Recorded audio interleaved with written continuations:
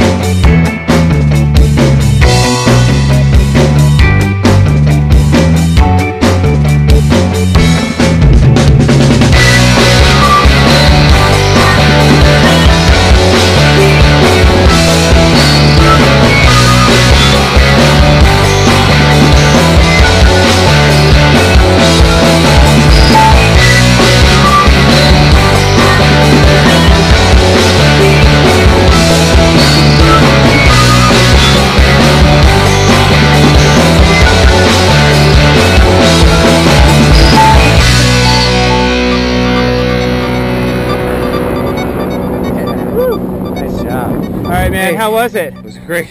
Yeah. what was your favorite part?